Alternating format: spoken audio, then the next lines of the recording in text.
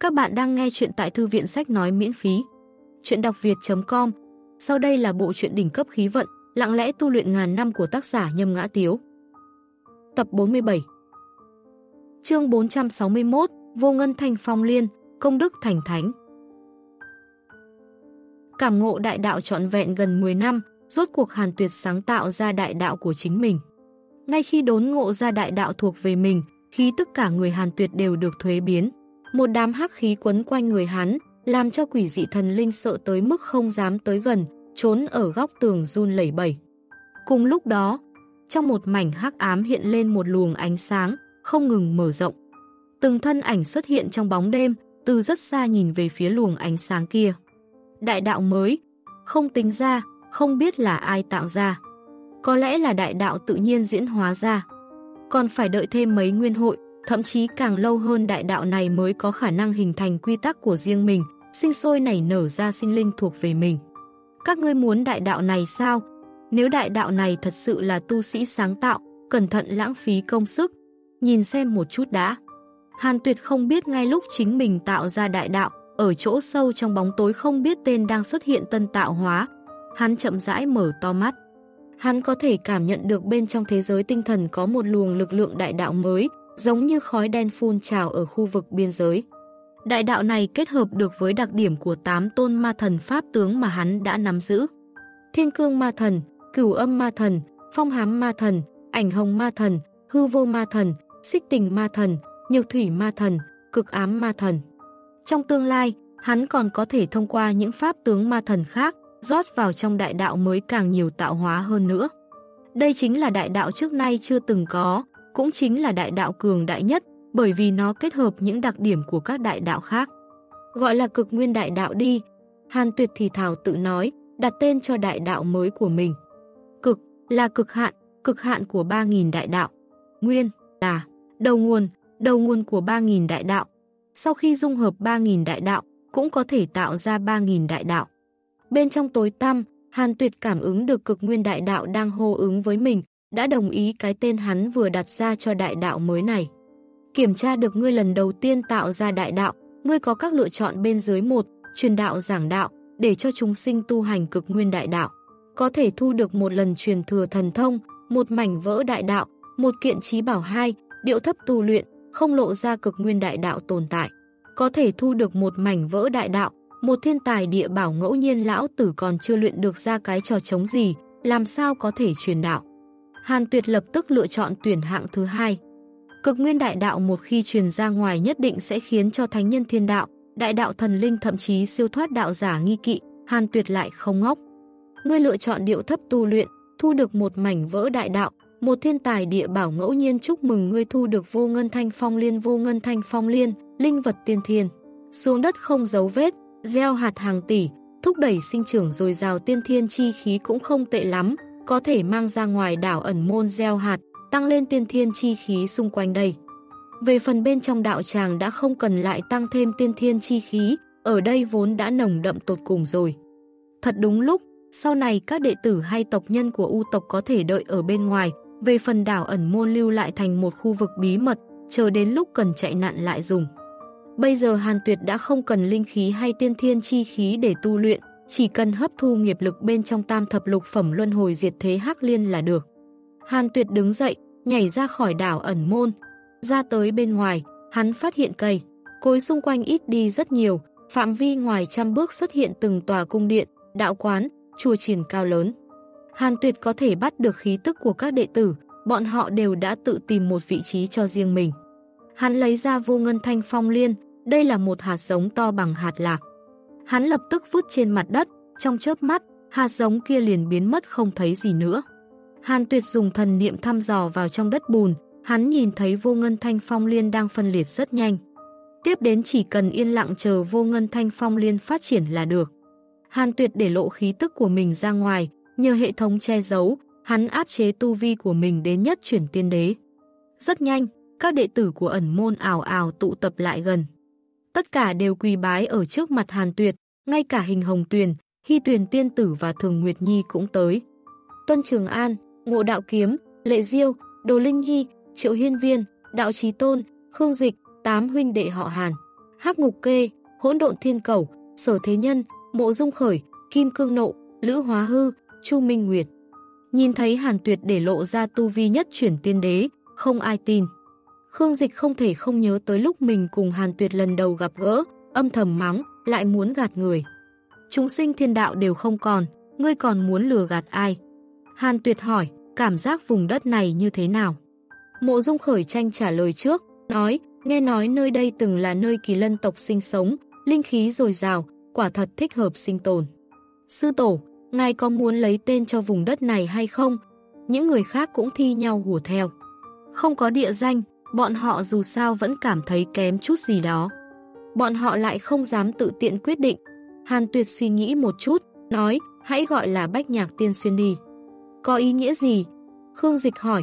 Hàn Tuyệt liếc mắt nhìn y, nói, không có ý nghĩa gì hết. Khương Dịch sửng sốt, đang, muốn truy vấn, hắc ngục kê kêu lên, chủ nhân nói cái gì chính là cái đó. Khương Dịch tiểu nhi không phục sao? Chủ nhân, để cho y dập đầu 100 năm nói mình sai rồi đi. Khương Dịch xém chút nữa bị tức chết, con chó mặt gà này quá khốn nạn rồi à. Hàn Tuyệt nói, sau này các ngươi sẽ cư trú ở đây, ta ở lại bên trong đảo ẩn môn. Có việc bất cứ lúc nào cũng có thể gọi ta. Chúng sinh thiên đạo gần như đã chết hết, sống sót đều là tồn tại siêu việt thần cảnh. Nếu gặp phải bọn họ hãy cẩn thận đối đãi, ta sẽ để cho Lữ Bố và Mã Siêu ra ngoài chấn thủ Bách Nhạc Tiên Xuyên. Không được rời khỏi Bách Nhạc Tiên Xuyên, trừ phi nhận được sự đồng ý của ta. Hãy tu luyện thật tốt, đợi đến lúc sinh linh thiên đạo mới xuất hiện, các ngươi sẽ giống như thần thoại, đây chính là đại cơ duyên sau cùng của lượng kiếp. Lời nói của Hàn Tuyệt làm cho mọi người có phản ứng không giống nhau. Bọn họ đã sớm đoán được là cục diện này, nhưng từ trong miệng Hàn Tuyệt biết được vẫn cảm thấy kinh ngạc. Khương Dịch hỏi, thần tộc Kim Ô của ta cũng bị diệt sạch rồi sao? Hàn Tuyệt nói, Đại La khả năng còn sống.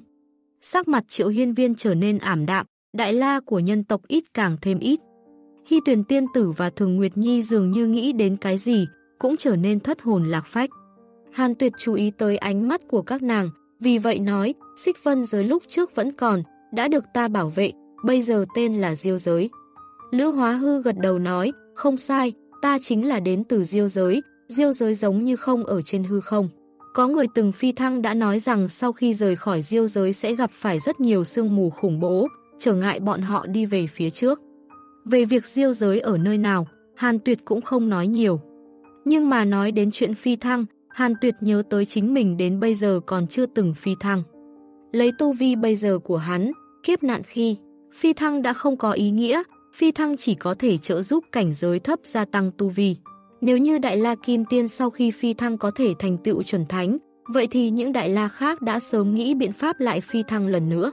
Sư phụ, nếu như chúng ta là nhóm sinh linh thiên đạo đầu tiên giảng đạo, liệu có thể thu được vô lượng công đức, thậm chí có cơ hội chứng đạo thành thánh hay không? Triệu Hiên Viên bỗng nhiên nói, ánh mắt y như tỏa sáng. Những người khác cũng hưng phấn lên. Bọn họ đã từng nghe nói không ít truyền thuyết về thánh nhân, đa số thánh nhân cũng là bởi vì có đại công đức đối với chúng sinh cho nên mới trở thành thánh nhân thiên đạo.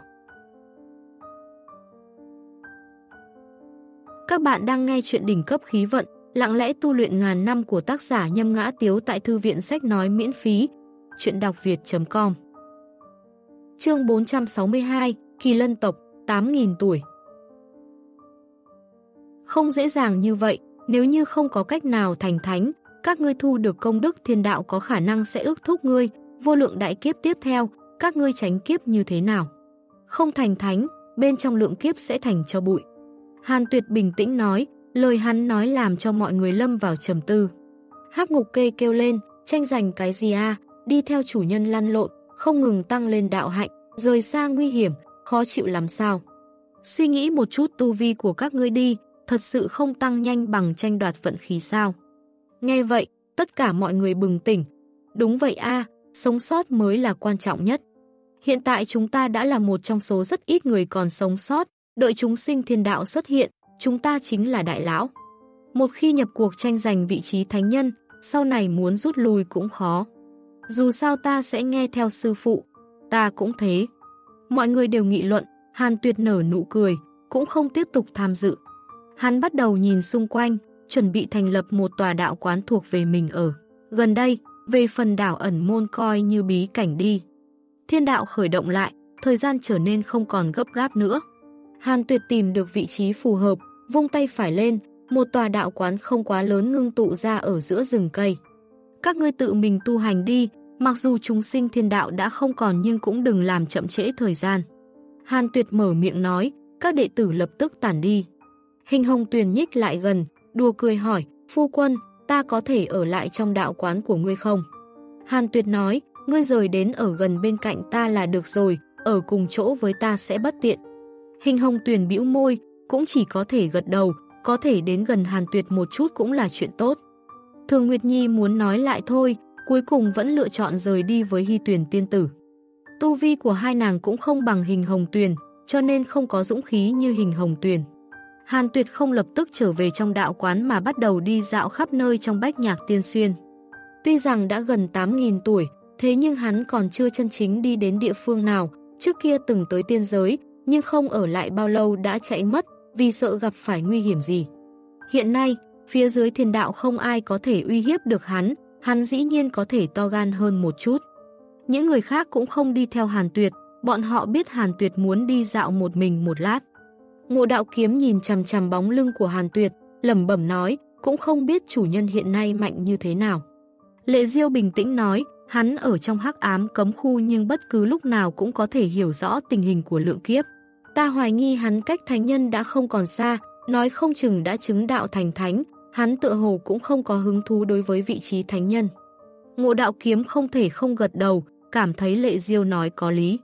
Hàn tuyệt vừa bước chậm đi về phía trước, vừa tản thần, niệm ra xung quanh. Hắn cảm thấy vùng đất này có vẻ như khá đặc thù, có thể hoàn hảo giữ lại hình dạng của sông núi đất đai, chứng tỏ trước khi lượng kiếp kết thúc nhất định là một thánh địa. Linh khí ở đây cũng khá là dồi dào, đều sắp bắt kịp mật độ linh khí ở thánh địa nhân tộc của hình hồng tuyền lúc trước, đương nhiên so với đạo tràng của hắn vẫn là kém xa. Cũng không lâu lắm, Hàn Tuyệt liền phát hiện lòng đất có cấm chế thần bí ẩn núp. Hắn lập tức lẻn vào lòng đất, đi đến bên trong một cái hang động thần bí, phía trước là một cái cửa đá thật to, nguy nga đại khí, trên cửa có khắc không ít hoa văn cổ quái. Cái cửa đá này ẩn chứa cấm chế cường đại, không phải thần niệm của Đại La Kim Tiên tới gần căn bản không phát hiện được sự hiện hữu của nó, chớ nói chi là nhìn thấy mọi thứ bên trong.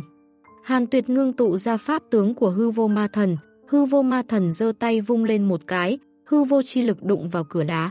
Cấm chế trên cửa đá lập tức hóa thành hư vô, ngay cả bản thân cửa đá cũng hóa thành cho bụi. Hàn tuyệt chăm chú nhìn lại, phát hiện phía bên kia cửa đá là một sơn động u ám cực lớn, bên trong cất giấu rất nhiều quả trứng cực lớn. Hả? Hàn tuyệt quét thần niệm qua đó, phát hiện những quả trứng này không ngờ ẩn chứa sinh mệnh, phần lớn vẫn còn sống. Chúng nó làm thế nào mà tránh thoát được diệt đạo thần thông vậy? Hắn lập tức thầm hỏi thăm trong lòng, cần khấu trừ 2 tỷ năm tuổi thọ, phải chăng tiếp tục tiếp tục? Đại La Kim Tiên của Kỳ Lân tộc lấy thần thông thiên phú của bản thân hiến tế đạo hạnh, vận khí, ngăn cách cái động này với thiên đạo ở bên ngoài, không bị diệt đạo thần thông ảnh hưởng đến Kỳ Lân tộc. Hàn Tuyệt âm thầm cảnh giác, thần niệm của hắn không hề tìm thấy những đại năng khác tồn tại, hắn không thể không dùng mô phỏng thí luyện tới kiểm tra, cũng không tìm được Đại La Kim. Tiên của kỳ lân tộc tồn tại. Nói cách khác, tên kia quả thật đã chết rồi. Hàn Tuyệt đi vào trong động, kiểm kê những quả trứng kỳ lân này. Ném đi những quả trứng đã hỏng vẫn còn có 1.200 quả trứng kỳ lân có thể còn sống. Trong động ẩn núp cấm chế nào đó có thể vận chuyển linh khí dưới lòng đất tầm bổ cho trứng kỳ lân, để cho những quả trứng kia không ngừng phát triển. Thu phục những quả trứng kỳ lân này có thể sinh ra nhân quả với thánh nhân hay không? Hàn Tuyệt hỏi thầm trong lòng, cần khấu trừ 3 tỷ năm tuổi thọ, phải chăng tiếp tục tiếp tục? Tạm thời sẽ không Hàn Tuyệt thở dài một hơi, đã như vậy, vậy hắn liền thu những quả trứng kỳ lân này. Hắn cẩn thận kiểm tra sơn động một lượt, sau khi xác định không có nguy hiểm mới gọi Mộ Dung Khởi và Đạo trí Tôn tới đây. Mộ Dung Khởi coi như là người quản lý của ẩn môn, cuộc thi đấu 100 năm một lần đều là do y tổ chức, y rất có khả năng trong phương diện quản lý, Đạo trí Tôn thì là đệ tử mạnh nhất. Những quả trứng kỳ lân này từ giờ là của ẩn môn, các ngươi sau này hãy chú ý chăm sóc chúng nhiều hơn. Hàn Tuyệt phân phó nói, Mộ Dung Khởi và Đạo Chí Tôn nhìn thấy trong động có hơn 1.000 quả trứng kỳ lân thì đều thấy sừng sốt. Đạo Chí Tôn cảm khái nói, quả nhiên là tộc địa của kỳ lân tộc. Mộ Dung Khởi hỏi, Kỳ lân tộc đã diệt vong rồi sao? Hàn Tuyệt không thể không diễn hóa lần nữa, tiêu hao 2 tỷ năm tuổi thọ, xác định kỳ lân tộc đã diệt tộc, chỉ còn lại những quả trứng này. Ừ, chỉ còn lại những quả trứng này, sau này sẽ gia nhập vào ẩn môn. Hàn Tuyệt đáp, sau đó xoay người rời đi. Mộ Dung Khởi và Đạo Trí Tôn lại đi vào trong động, tấm tắc kêu kỳ lạ. Sau khi rời khỏi lòng đất, Hàn Tuyệt tiếp tục du lịch. Mấy ngày sau, hắn mới trở lại trong đạo quán tu luyện, hắn phân ra một bộ thiên chi khôi lỗi để đi ra ngoài tìm hiểu tình. Huống, tuy rằng hắn đã đủ mạnh, nhưng hắn vẫn không muốn tự mình đi ra ngoài mò mẫm tìm hiểu. Vạn nhất bị trăm tên chuẩn thánh vây công thì làm sao bây giờ? Khục khục. Nói hơi khoa trương, làm sao có thể có đến trăm tên chuẩn thánh đây? Dù sao không ở dưới tình huống tuyệt đối ổn thỏa, Hàn Tuyệt vẫn là không muốn rời đi đạo tràng quá xa. Hắn để cho kết giới của hệ thống bao phủ lên đạo quán mới, bên ngoài không cách nào nhìn trộm đến tất cả mọi thứ bên trong đạo quán. Lúc mới đến thì hưng phấn nhưng rất nhanh đã bị năm tháng xóa đi, đám đệ tử của ẩn môn cũng bắt đầu tự mình bế quan tu luyện. Thoáng chớp mắt, hơn 10 năm đi qua. Trong đạo quán, trước mắt Hàn Tuyệt đột nhiên nhảy ra ba hàng chữ, kiểm tra được ngươi đã đủ 8.000 tuổi, nhân sinh lại bước thêm một bước, ngươi có các lựa chọn bên dưới một. Lập tức xuất thế, giảng đạo thiên hạ, lưu lại danh tiếng muôn đời, có thể thu được một mảnh vỡ đại đạo, một lần truyền thừa thần thông hai. Điệu thấp tu luyện, không tham dự tranh giành lộn xộn, có thể thu được một người thủ vệ đạo tràng Hàn Tuyệt không chút do dự, lập tức lựa chọn tuyển hạng thứ hai. Người thủ vệ đạo tràng này cũng chỉ có thể là chuẩn thánh, cho nên hắn lại lựa chọn thạch độc đạo. Người thủ vệ đạo tràng bắt đầu phục chế Hàn Tuyệt suy nghĩ một chút, âm thầm hỏi thăm, ta có thể chuyển đạo tràng từ bên trong đảo ẩn môn ra ngoài không? Đạo tràng có phạm vi bao phủ cực lớn, hiện tại hạn chế ở bên trong đảo ẩn môn ngược lại không ổn. Cần khấu trừ 100 tỷ năm tuổi thọ, phải chăng tiếp tục đắt như vậy? Hàn tuyệt thầm mắng, ta nhịn, vì cân nhắc an toàn, vẫn là chuyển ra ngoài thì tốt hơn. Tiếp tục. Các bạn đang nghe chuyện đỉnh cấp khí vận, lặng lẽ tu luyện ngàn năm của tác giả Nhâm Ngã Tiếu tại Thư viện Sách Nói miễn phí, chuyện đọc việt.com Chương 463, Điển Vi, trên trời rơi xuống thân thể, tàn phế.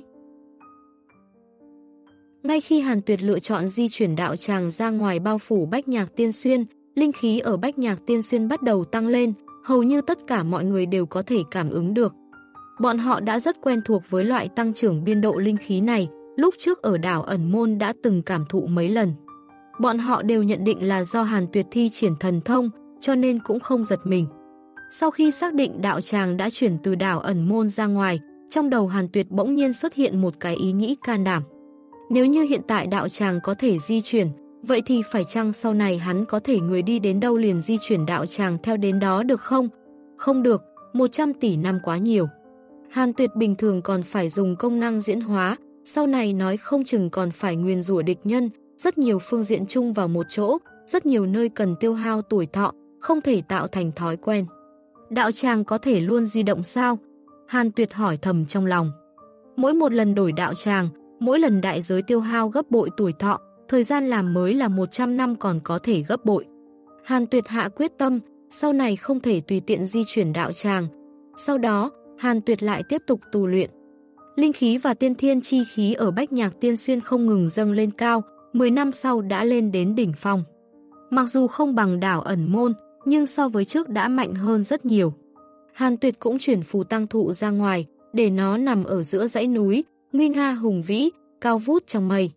Triệu Vân với thủ vệ mới là Điển Vi canh giữ ở trước vòng xoáy thời không, Lữ Bố và Mã Siêu thì canh giữ ở biên giới đông và tây của Bách Nhạc Tiên Xuyên. Sau khi phù tăng thụ xuất hiện, Hắc Ngục Kê, A Đại và Tiểu Nhị lập tức bay đến trên cây, bọn nó vẫn có thói quen ở lại trên tàng cây. Đến đây coi như là hoàn toàn an ổn. Hàn Tuyệt Thu, hồi đảo ẩn môn vào sâu trong linh hồn, bên trong thế giới tinh thần, sau đó lại tiếp tục tu luyện. Tranh thủ sớm ngày bước vào cảnh giới chuẩn thánh. Sau khi thiên đạo khởi động lại, tiên giới vô cùng trống vắng, vết máu để lại sau khi chém giết trong lượng kiếp vẫn còn không hoàn toàn tan biến. Dẫu sao sinh linh tham dự lượng kiếp cũng có tu vi không yếu, máu của bọn họ đối với phàm linh mà nói vừa là thánh vật vừa là tà vật, thiên địa không cách nào ở trong thời gian ngắn xóa đi. Thoáng chớp mắt, 30 năm trôi qua, oanh một tiếng nổ mạnh rung động thiên địa, Hàn Tuyệt đang tu luyện lập tức mở to mắt, ánh mắt của hắn xuyên qua đạo quán với dãy núi, thấy một ngón tay cực lớn từ trên trời giáng xuống, đập về phía cuối đường chân trời. Đó là ngón tay của người, dài đến mấy vạn trượng, cuối cùng còn có thể thấy xương trắng dày đặc. Hàn Tuyệt nhíu mày, ngón tay của chuẩn thánh, luồng khí tức này so sánh với Đại La Kim Tiên còn mạnh hơn nhiều. Rất nhanh, cả ngón tay kia tan biến tại cuối đường chân trời, ngay sau đó một ngọn gió mạnh kinh khủng cuốn tới, dọc đường ngọn núi bị chấn động nghiền nát, quét ngang ức vạn dặm, lan đến gần Bách Nhạc Tiên Xuyên. Trận pháp của đạo tràng tự động phòng ngự, gió mạnh bị ngăn cản lại, hình thành tường gió cực lớn mà mắt thường có thể thấy được. Vô cùng hùng tráng, đệ tử của ẩn môn và tộc nhân của U tộc cũng nhìn thấy rõ ràng. Đó là cái gì? Ngón tay của ai rớt xuống rồi? Xem ra trên trời có một trận đại chiến. Nếu như chúng ta bị đập chúng, môn chủ đã bố trí xuống trận pháp ở Bách Nhạc Tiên Xuyên từ khi nào vậy? Không ngờ ta lại không hề phát hiện được.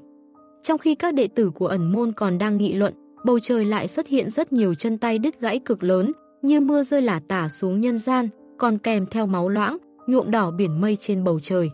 Hàn tuyệt híp mắt nhìn, hắn có thể cảm nhận được những chân. Tay đứt gãy này có khí tức không giống nhau, mạnh nhất đạt tới chuẩn thánh, yếu nhất cũng có tu vi thái ất kim tiên. Sao lại nhiều như thế? Hàn tuyệt nhìn về phía bầu trời, xuyên qua 30 tầng trời, hắn nhìn thấy một người thần bí mặc hắc bào không thấy rõ khuôn mặt đang vung tay áo. Vô số chân tay đứt gãy rơi ra từ trong tay áo của gã, tung bay xuống khắp nhân gian. Chỗ chúng rơi xuống đều không cùng phương hướng, rõ ràng cho thấy gã muốn giải xuống khắp nơi trong thiên đạo. Hàn Tuyệt âm thầm hỏi thăm, người này là ai? Cần khấu trừ 3 tỷ năm tuổi thọ, phải chăng tiếp tục tiếp tục? Xem bộ dáng là thánh nhân. Tiêu đại đế, Tu Vi không biết, thánh nhân thiên đạo, môn đồ của đạo tổ, một trong những thủy tổ của ma tộc thánh nhân thiên đạo. Hàn Tuyệt nhíu mày, người này vậy mà là một trong những thủy tổ của ma tộc, còn bái nhập vào môn hạ của đạo tổ. Những thánh nhân thiên đạo mà hắn đã biết gồm có nữ oa, Phục Hy Thiên, Nam Cực Thiên Tôn, Cầu Tây Lai, Thiên Tuyệt Giáo Chủ, Mệnh Cơ Thánh Nhân, Kim An Thánh Nhân, Tiêu Đại Đế, còn thiếu một vị, chín thánh tề tụ. Ta muốn biết tại sao Tiêu Đại Đế làm như vậy. Hàn Tuyệt thầm hỏi trong lòng. Cần khấu trừ 4 tỷ năm tuổi thọ, phải chăng tiếp tục tại sao lại đắt hơn 1 tỷ rồi? Hàn Tuyệt lựa chọn tiếp tục. Ngay sau đó, hắn tiến vào bên trong huyễn tượng diễn hóa. Đây là một đại điện lờ mờ, hai bóng người ngồi đối diện nhau, nhìn thân hình một bóng người trong đó liền biết là tiêu đại đế. Một vị khác mặc dù đang ngồi cũng có thân hình khổng lồ hơn tiêu đại đế gấp mấy lần, toàn thân lượn lờ hắc diễm. Thiên đạo khởi động lại, để ngươi thu thập thân thể tàn phế ngươi đã chuẩn bị xong chưa? Thân ảnh hắc diễm dò hỏi. Tiêu đại đế trả lời, đã chuẩn bị xong rồi. Ừ, để chúng tung bay khắp thiên đạo chư thiên đi. Tại sao phải làm như vậy? Những thân thể tàn phế này đều ẩn chứa nghiệp lực ngập, trời, oán khí của sinh linh. Sau khi thiên đạo khởi động lại, bọn họ đã bị thiên đạo vứt bỏ, thừa dịp thiên đạo đang diễn hóa. Có thể giải xuống chư thiên, để chúng hóa thành nguyên rủa chi vật, nguyên rủa thiên đạo, làm chuẩn bị cho ngày sau ma tộc ngang trời xuất thế. Đám thánh nhân có thể ngăn cản ta hay không? Ta sẽ dẫn bọn họ rời khỏi. Được, cảnh tượng đến đây tan vỡ. Hàn tuyệt nhíu mày, lại là ma tộc. Hắn lại ngước mắt nhìn lên bầu trời, tiêu đại đế vẫn còn đang giải thân thể tàn phế xuống dưới, khó có thể tưởng tượng được tên này đến cùng đã góp nhặt được bao nhiêu thi thể. Tiêu đại đế bỗng nhiên đối mặt với Hàn Tuyệt, ánh mắt của hai người đụng nhau ở trên hư không. Hàn Tuyệt lập tức dịch ánh mắt ra chỗ khác. Phía trên tầng trời thứ 30, tiêu đại đế nhíu mày. Kỳ quái, vừa rồi không ngờ ta không cách nào nhìn thấu đạo tràng của người nọ. Tiêu đại đế thì thảo tự nói, Gã bấm ngón tay suy tính, vẻ mặt càng ngày càng cổ quái. Người này nhân quả thật là ít, ngay cả phàm linh cũng không bằng. Hắn làm thế nào mà tu hành được đến cảnh giới như thế? Tiêu đại đế sinh ra hứng thú với Hàn Tuyệt, đồng thời gã có một dự cảm, tên này sẽ là trở ngại đối với sự quật khởi của ma tộc. Tiêu đại đế sinh ra hảo cảm với ngươi, độ hảo cảm hiện tại là 0.5 sao 0.5 sao. Hàn Tuyệt nhìn lấy nhắc nhở trước mắt, vẻ mặt vô cùng cổ quái. Hắn vẫn là lần đầu gặp phải 0.5 sao, độ hảo cảm thấp như thế rất có thể biến thành kẻ thù. Nhưng mà Hàn Tuyệt lại không hề lo lắng, tiêu đại đế không thể lấy bản thể vào tiên giới, như vậy thì không uy hiếp được hắn. Tiêu đại đế giải quá nhiều thân thể tàn phế xuống dưới, Hàn Tuyệt chẳng muốn đi ngăn cản, tốn công mà không có kết quả. Giao cho hậu nhân đi giải quyết đi, chờ đám thánh nhân trở về mới có thể nghĩ ra biện pháp ứng đối. Hàn Tuyệt nhắm mắt, lại tiếp tục tu luyện. Một nén nhang, sau, bầu trời không còn xuất hiện thân thể tàn phế to lớn nữa, tiên giới khôi phục lại bình tĩnh. Chỉ chớp mắt, 32 năm qua đi, cầu Tây Lai muốn báo mộng cho ngươi, phải chăng tiếp tục thông báo này bắt đầu điên cuồng đổi mới. Hàn tuyệt thầm mắng xúc sinh, không phải con người. Hắn lựa chọn tiếp nhận cầu Tây Lai muốn báo mộng. Vẫn như cũ là khung cảnh quen thuộc kia, cầu Tây Lai trước tiên nói, có từng nhìn thấy thân thể tàn phế từ trên trời rơi xuống không? Hàn tuyệt gật đầu, không xong, kẻ này sẽ không phải muốn ta đi thu thập đấy chứ. Cứ coi như không trông thấy đi, ngươi cứ tu luyện như thường lệ, việc này không được nói với những thánh nhân khác. Cầu Tây Lai tiếp tục nói, Hàn tuyệt sửng sốt. Không được nói, cẩu vật không ngờ cấu kết với ma tộc. Hàn tuyệt nói, trước mắt ngoại trừ ngài, tạm thời không có thánh nhân khác liên hệ với ta.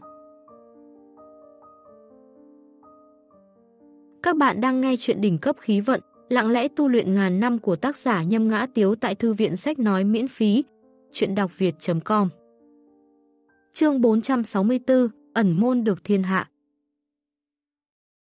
Ừ, đối mặt câu trả lời của Hàn Tuyệt, cầu Tây Lai đáp lại một tiếng, không biết có tin tưởng hay không nữa. Hàn Tuyệt hỏi, đồ nhi tô kỳ của ta, câu nói kế tiếp hắn còn chưa nói hết, tin tưởng rằng cầu Tây Lai có thể hiểu rõ. Cầu Tây Lai đáp, y bị giam giữ trong nhà ngục của thiên tộc, 100 năm sau sẽ bị xử tử. Đến lúc đó ta sẽ bảo vệ hồn phách của y rồi giao lại cho ngươi, nhớ kỹ, không thể lưu lại phần hồn phách đó của y trong phạm vi của thiên đạo. Hàn tuyệt vội vàng bái tạ, chỉ cần có thể lưu lại cho Tô Kỳ một đường sinh cơ là tốt rồi. Tô Kỳ quả thật đáng chết, thần thông diệt đạo tàn sát chúng sinh, nếu không bị trừng phạt, quỷ mới biết người này về sau tâm lý có thể vặn vẹo hay không, từ đó mà càng thêm lầm đường lạc lối. Cầu Tây Lai cũng không nói nhảm nữa, giải trừ báo mộng. Ý thức của Hàn Tuyệt trở lại trong hiện thực, hắn chợt phát hiện ra thái độ của cầu Tây Lai đối với mình hình như cũng không nhiệt tình giống như trước đây, lời nói đều giảm thiểu đi rất nhiều. Có lẽ có liên quan đến việc lượng kiếp kết thúc, cầu Tây Lai tự cảm thấy lão đã thắng rồi, đối với cái gọi là biến số của đạo tổ cũng không lại xem trọng. Hàn Tuyệt nở nụ cười, đây cũng là chuyện tốt. Cầu Tây Lai càng không coi trọng hắn, càng tốt cho việc hắn lặng lẽ trưởng thành. Ngày nào đó cầu Tây Lai bỗng nhiên quay đầu, phát hiện Hàn Tuyệt đã là thánh nhân, vậy lão sẽ kinh ngạc nhiều như thế nào đây? Hàn Tuyệt không suy nghĩ nhiều nữa, tiếp tục tu luyện. Dựa theo truyền thừa của công pháp Hồng Mông Luân Hồi Đại Đạo, muốn chứng được cảnh giới chuẩn thánh, có liên quan đến lý giải đối với đại đạo. Hàn Tuyệt vừa hấp thu nghiệp lực của tam thập lục phẩm luân hồi diệt thế Hắc Liên, vừa tìm hiểu cực nguyên đại đạo. Về phần sinh tử đại đạo lúc trước, Hàn Tuyệt dự định bỏ qua. Lỡ như sinh tử đại đạo đã có tiền nhân tu thành, vậy thêm Hàn Tuyệt tu luyện nữa, khó có thể vượt qua đối phương. Cực nguyên đại đạo thì khác biệt, là đại đạo dành riêng cho Hàn Tuyệt, hắn có thể yên tâm tu luyện. Rất nhanh, Hàn Tuyệt liền vào vào trạng thái ngộ đạo. Cực nguyên đại đạo cao thâm mặt chắc, cho dù nó là Hàn Tuyệt tạo ra, nhưng muốn hoàn toàn hiểu thấu đáo, cũng cần trải qua một khoảng thời gian dài dòng buồn chán. 100 năm thong thả trôi, thoáng qua tức thì. Một ngày này, rốt cuộc Hàn Tuyệt cũng nhìn thấy thông báo liên quan đến Tô Kỳ. Đồ đệ Tô Kỳ gặp phải thiên phạt của thiên tộc, thân tử đạo tiêu, thân hồn của y may mắn được thánh nhân xuất thủ cứu giúp Hàn Tuyệt thở dài một hơi. Tuy rằng cầu Tây Lai trong lòng có dấu giếm âm mưu, nhưng thật sự chính là nói lời giữ lời. Dạo gần đây, bảng thông báo của hắn lại trở nên hoạt động mạnh mẽ, hầu như đều là thông báo về việc đám hảo hữu thiên. Tộc thu được cơ duyên, chúng sinh thiền đạo vẫn lạc, có quá nhiều pháp bảo lạc vào nhân gian. Hàn Tuyệt suy nghĩ một chút, triệu tập các đệ tử lại.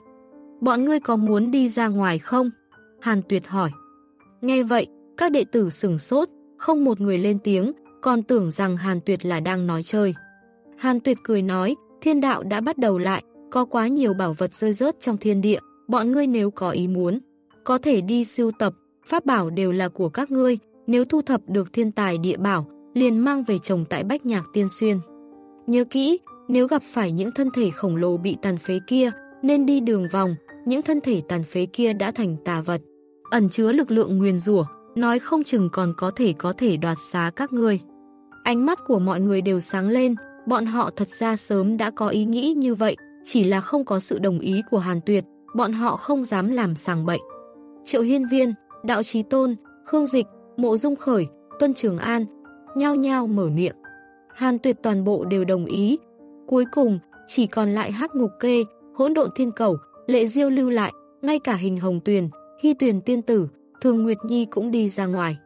Ngộ đạo kiếm lần đầu tiên ra ngoài, rất khẩn trương, nhưng mà có những người khác làm bạn, chắc có lẽ sẽ không gặp chuyện không may.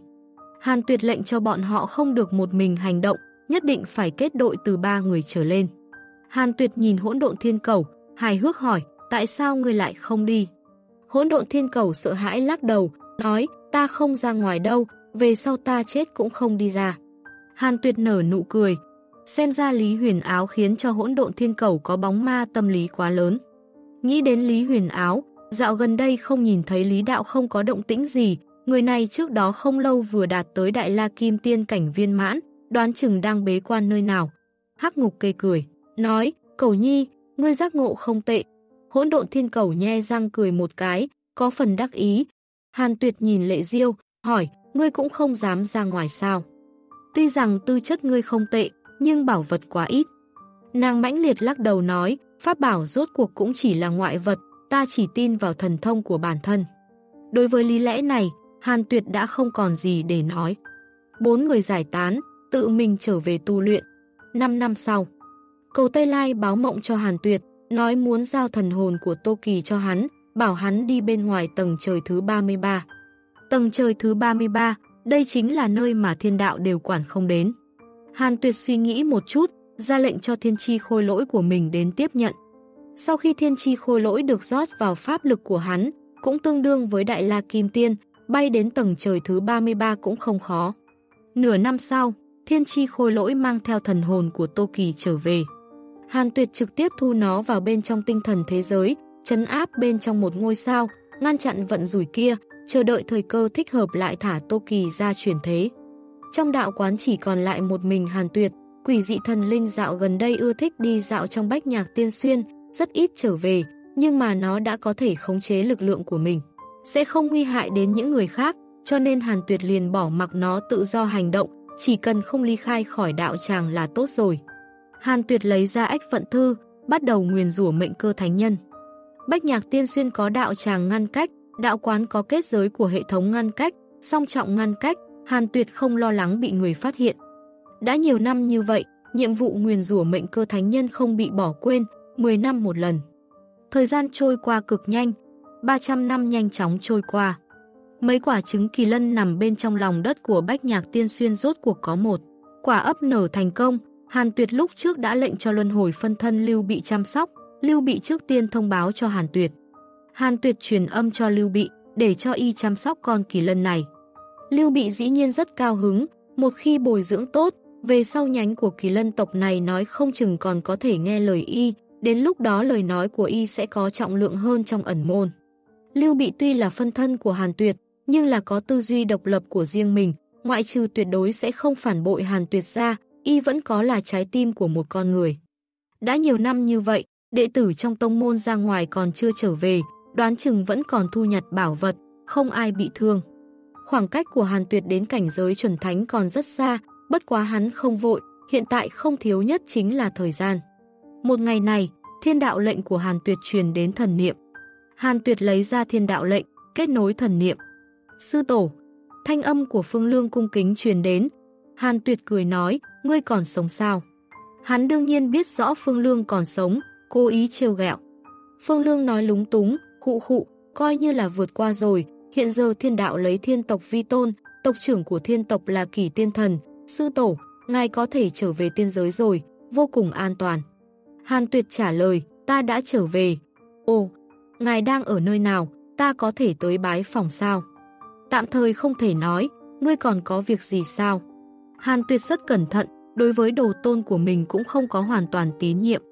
Phương Lương nói, thiên đạo bắt đầu lại, ta muốn mời ẩn môn vào thiên đình trở thành thần tiên, ngày sau liền có cơ hội lại trở thành thiên tộc. Thiên tộc chính là chủng tộc của thiên đạo, trong mấy lần lượng kiếp sẽ xảy ra trong tương lai cũng sẽ không chịu ảnh hưởng. Hàn Tuyệt nhíu mày, nói như vậy, thiên đình đã biến thành thế lực phụ thuộc vào thiên tộc.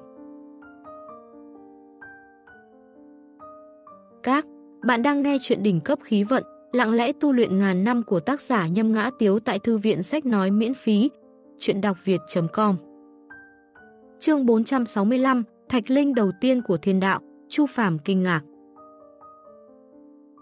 Thiên đình hiện tại lấy thiên tộc vi tôn sao? Hàn Tuyệt hỏi thẳng. Phương Lương trầm mặc một lát, nói, đây đã là biện pháp tốt nhất mà ta có thể nghĩ đến, quan hệ của ta và kỳ tiên thần không phải là nông cạn, chúng ta liên thủ. Tương đương với nắm quyền chủng tộc của thiên đạo và thế lực của thiên đạo, đợi một thời gian, chúng ta cũng không cần lại nhìn ánh mắt của thánh nhân. Hàn Tuyệt không khỏi nhớ lại, quan hệ của kỳ tiên thần và Phương Lương quả thật không tệ, cùng nhau lăn lộn mấy nghìn năm. Nhưng mà đổi lại là Hàn Tuyệt, tuyệt đối sẽ không ỉ lại những người khác. Được rồi, chỉ cần có chút mạo hiểm, ta cũng sẽ không để cho đồng môn của ngươi tùy tiện đặt chân đến. Hàn Tuyệt bình tĩnh nói, Phương Lương thở dài, cũng không cảm thấy ngoài ý muốn. Y Hiếu Kỳ hỏi, hiện tại là vị đệ tử nào mạnh nhất bên trong ẩn môn? Hàn Tuyệt nói, mạnh nhất cũng mới chỉ đạt tới tiên đế. Cũng không tệ. Quả thật, khổ tu vẫn rất hiệu quả. Sư tổ nói phải. Hai người trò chuyện vài câu liền cắt đứt liên hệ. Trong bảo điện lăng tiêu, Phương Lương bỏ thiên đạo lệnh xuống, lặng lẽ thở dài. Sư tổ đã trở nên khách sáo, mối quan hệ giữa hai người hình như đang xa cách dần. Chuẩn xác mà nói, sư tổ là đang lo lắng y kéo đệ tử trong tông môn xuống nước. Phương Lương không khỏi nghĩ lại, con đường chính mình lựa chọn thật sự có đúng hay không. Y cũng không tin việc đệ tử mạnh nhất trong tông môn chỉ mới đạt tiên đế, tất nhiên có người đã đạt tới thần cảnh. Lúc này, đại thần tướng đi vào trong điện. Y đi đến trước mặt Phương Lương hành lễ, nói, bệ hạ, các tu sĩ từ Phật môn, tiệt giáo, xiển giáo, nhân giáo cùng với thiên tộc có chỗ dựa là thánh địa nhân tộc liên tục xuất thế, đều đang sắp xếp. Thế cục, thiên đình chúng ta phải làm như thế nào? Phương Lương nói, thiên đạo bắt đầu lại, chúng sinh còn chưa xuất hiện, hiện tại sắp xếp thế cục như thế nào? Chỉ có thể chiếm lĩnh địa bàn mà thôi. Đại thần tướng nói, bệ hạ, ngài có thể cho bộ tộc phương thị hạ phàm trước, không ngừng sinh sôi nảy nở, về sau tự thành bộ tộc. Ừ, đây cũng là ý kiến hay. Phương Lương chuyển hướng đề tài, hỏi thiên thần tướng và võ thần tướng đâu rồi? Đại thần tướng bình tĩnh nói, bọn họ đã gia nhập nhân giáo. Phương Lương trầm mặc. Sau khi trải qua vô lượng đại kiếp, toàn bộ thần tiên trên thiên đình cộng lại vẫn chưa tới trăm vị, tất cả thiên binh thiên tướng đều bởi vì thần thông diệt đạo mà chết hết. Bần cùng và thất vọng chính là hiện trạng của thiên đình. Đại thần tướng hình như nhìn ra cảm xúc của Phương Lương không tốt, mở miệng an ủi, bệ hạ, thiên đình có thể còn sống sót dĩ nhiên là thiên đại cơ duyên.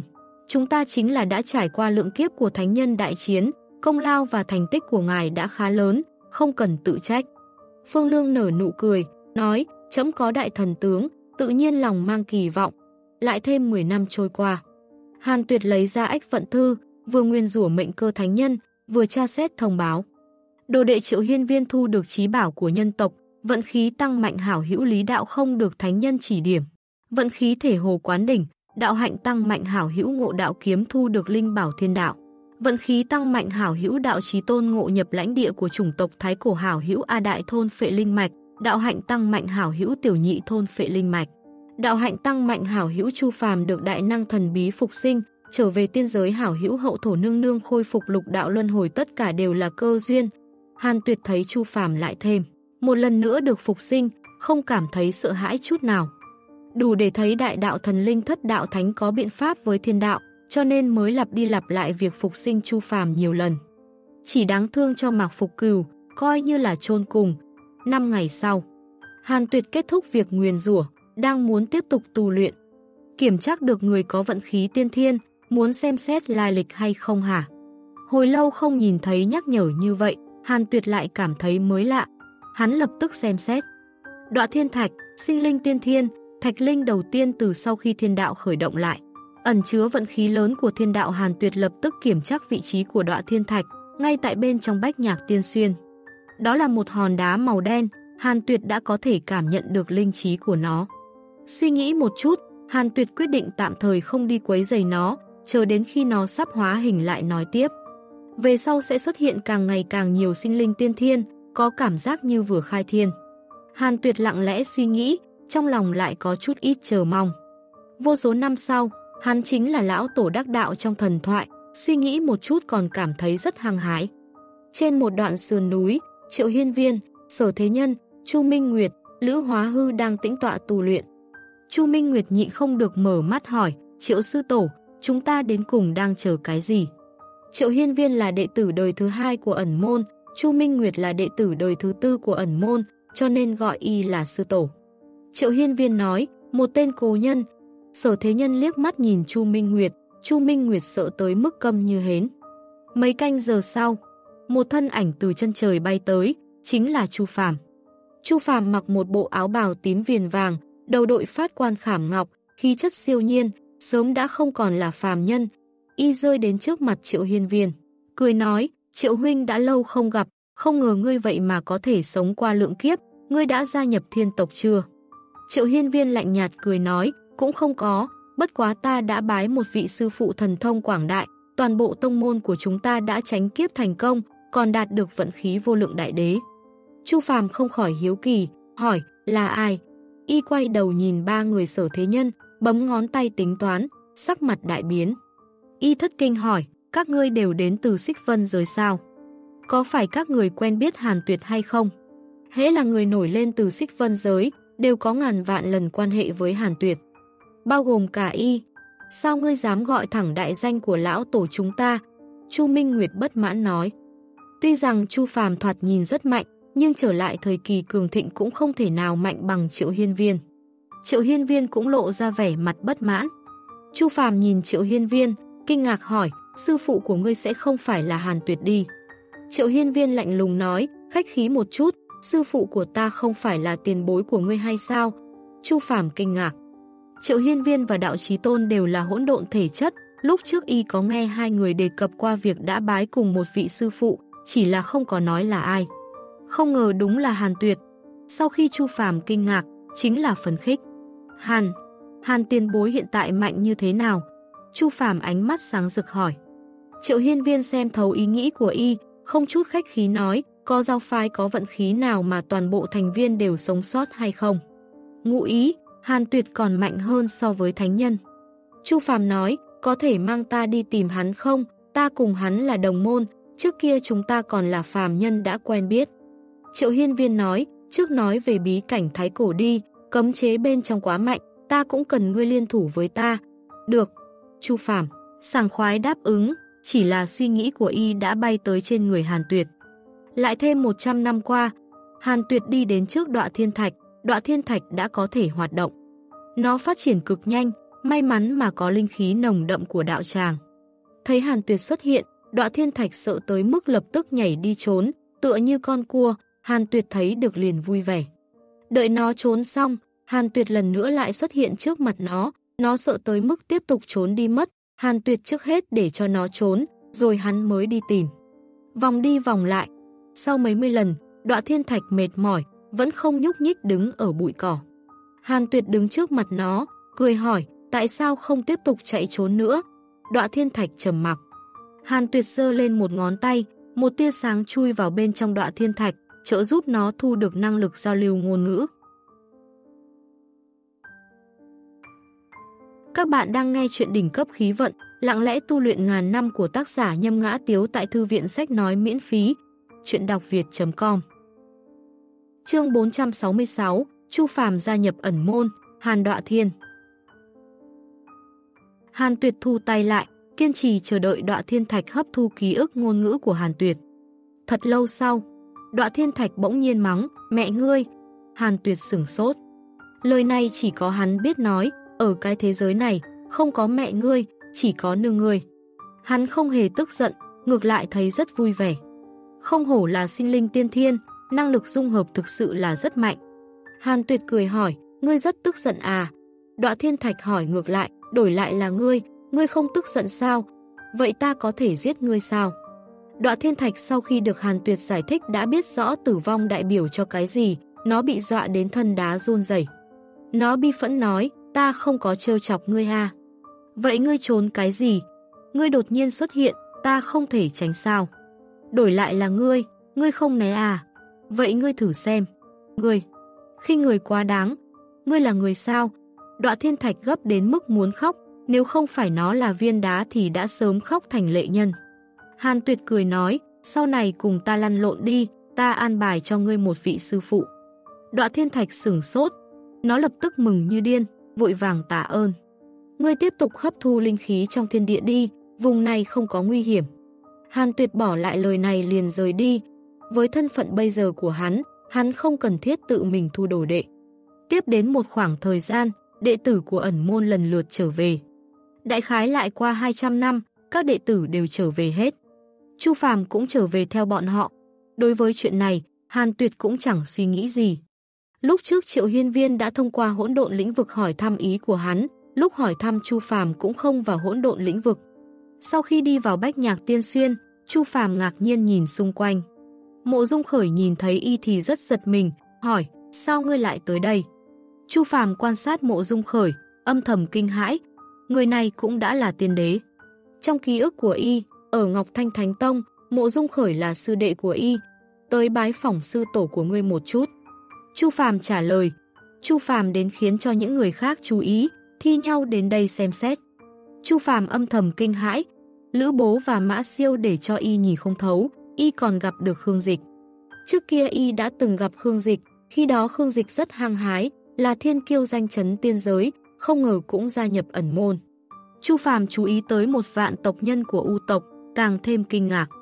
Yếu nhất cũng là Thái Ất Kim Tiên, có rất ít người đã đạt tới cảnh giới tiên đế.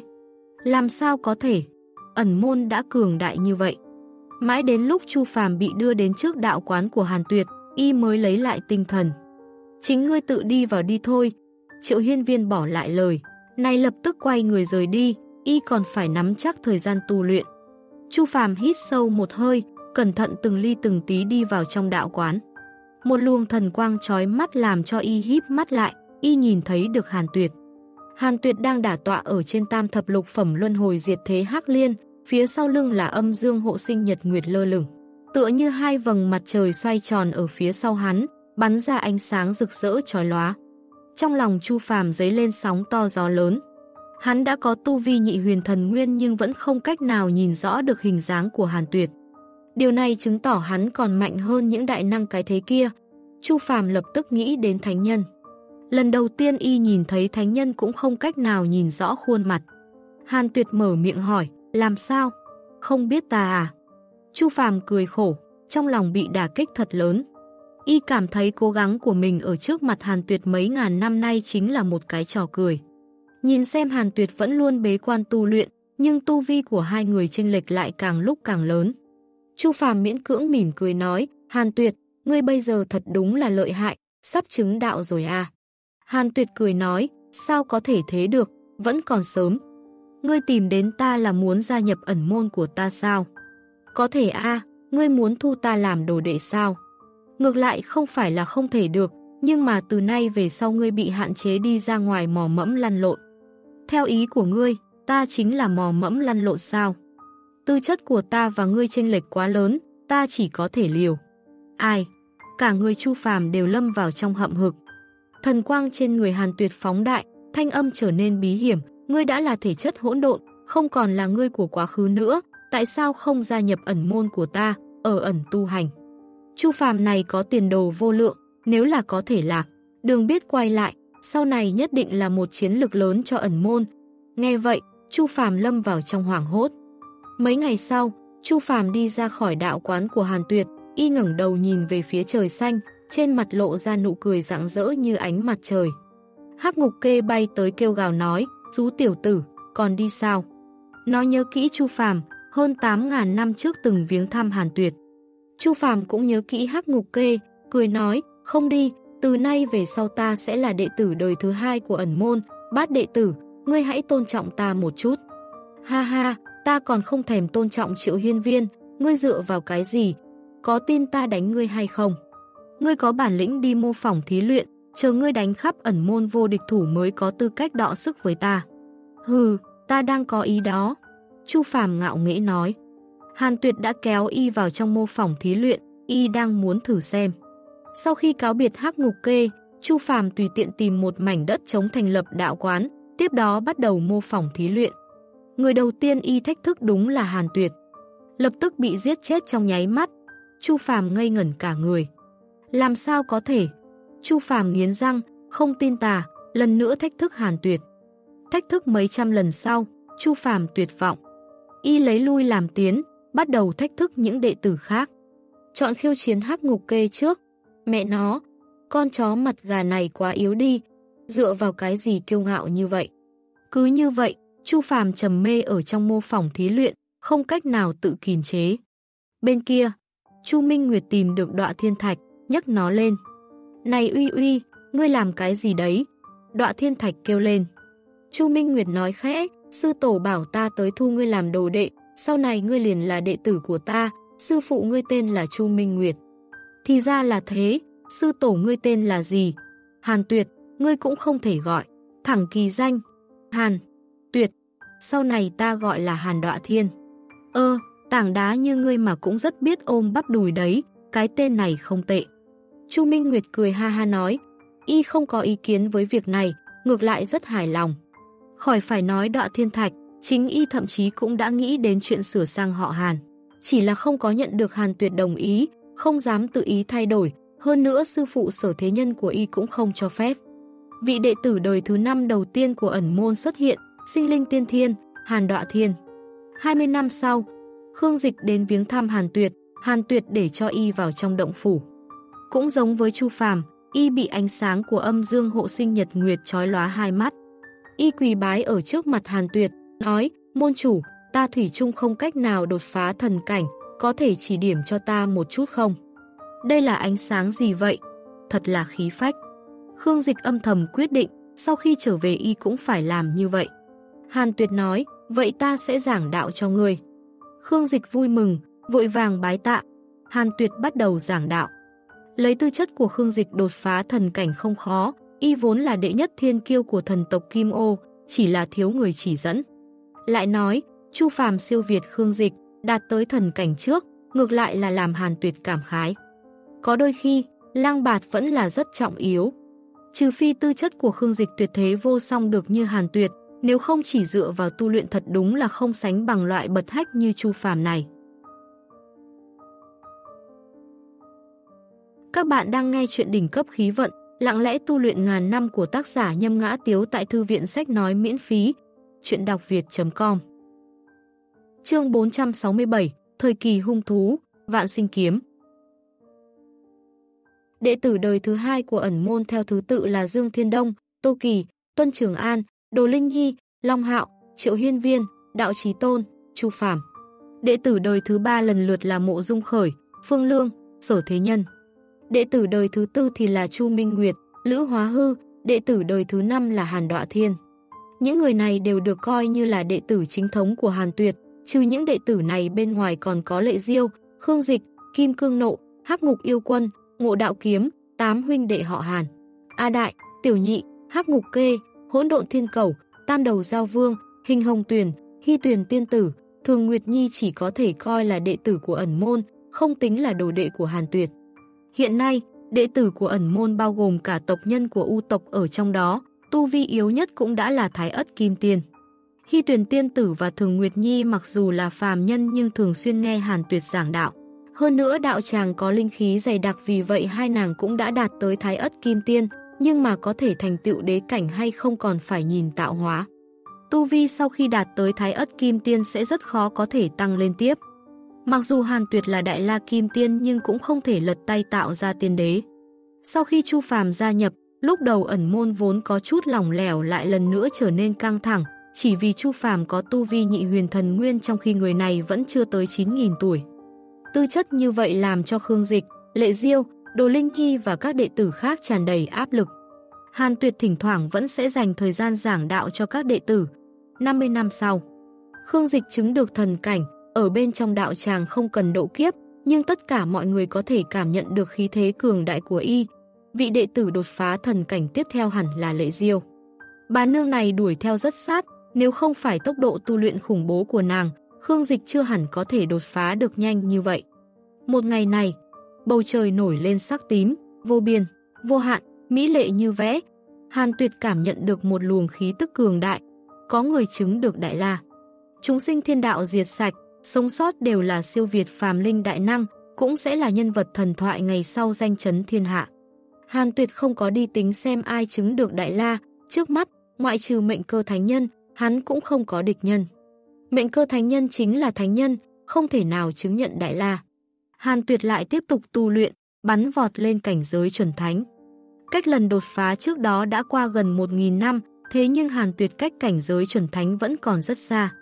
Tốc độ tu luyện vẫn là quá chậm, nhưng Hàn Tuyệt cũng không có biện pháp nào nhanh hơn, chỉ có thể khuyên bảo chính mình phải đặt vững từng bước chân.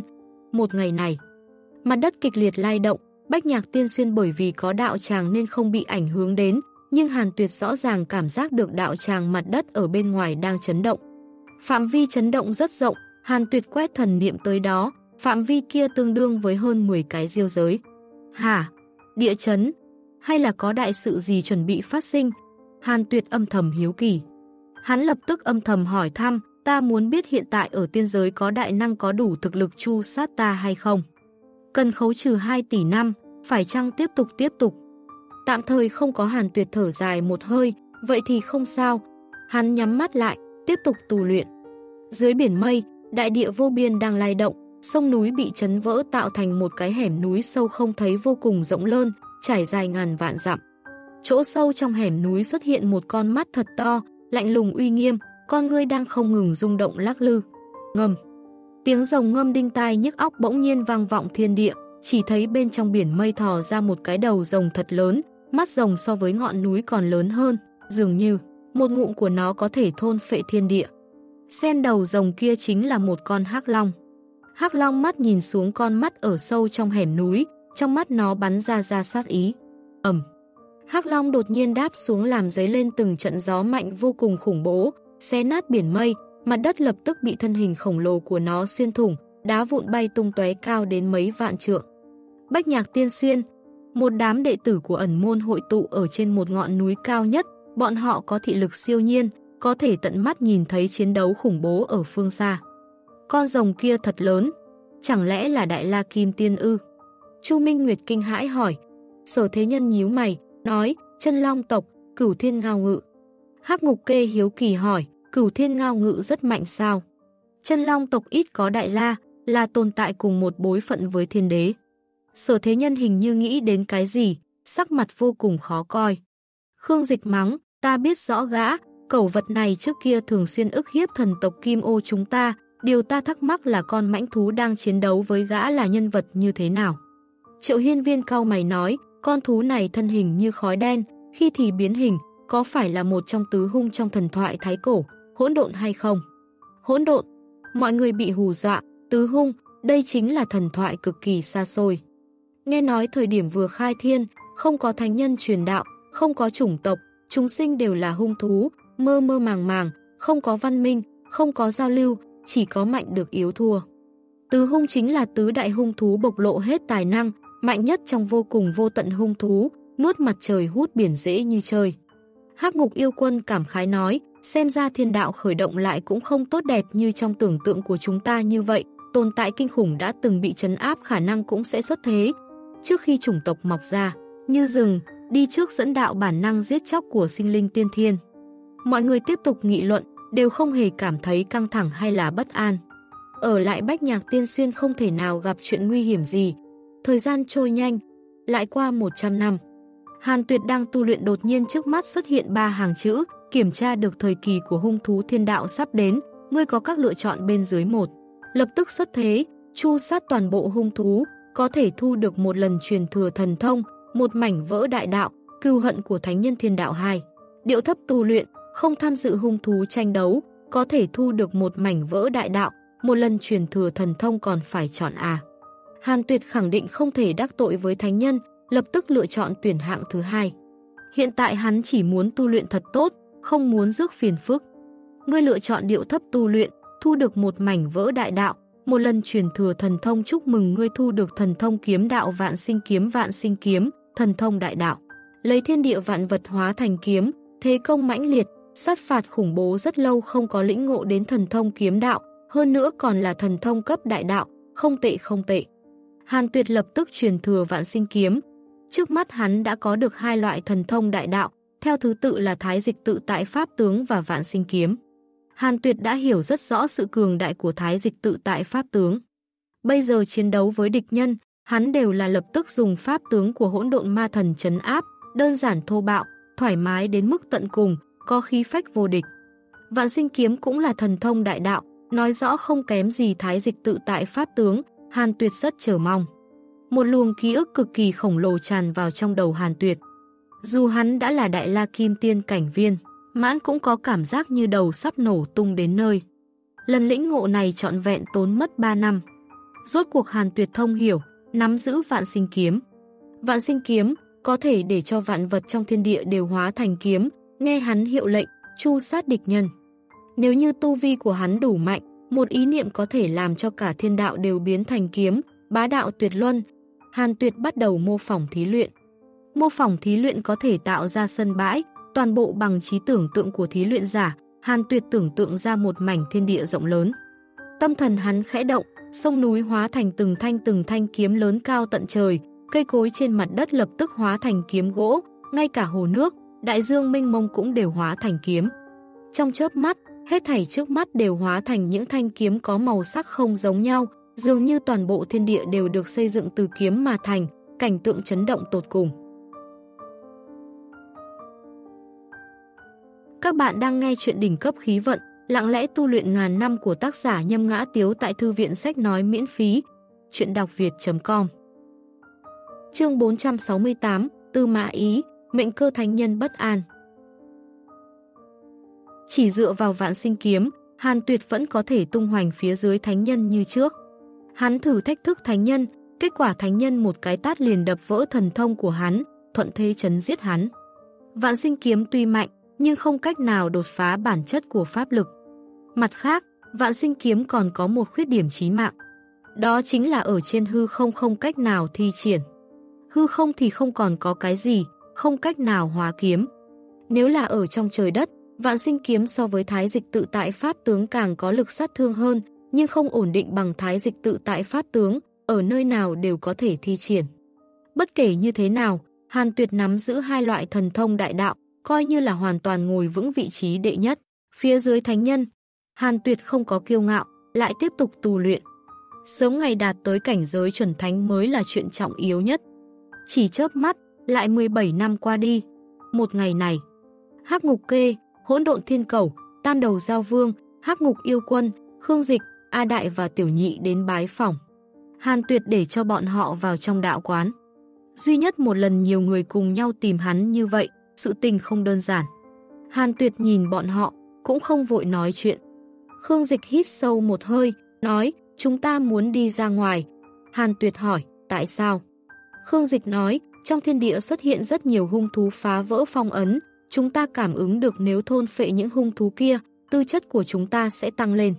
Hàn Tuyệt lúc này mới phát hiện những tên tới đây đều là yêu thú. Hắn nhìn về phía Hắc Ngục Kê. Hắc Ngục Kê đứng ở đằng sau đám người, run lẩy bẩy, cực kỳ khẩn trương. Hàn Tuyệt cười hỏi, ngươi cũng muốn đi ra ngoài. Cảm nhận được ánh mắt của Hàn Tuyệt, Hắc Ngục Kê nuốt nuốt nước miếng, nói, cũng không phải rất muốn.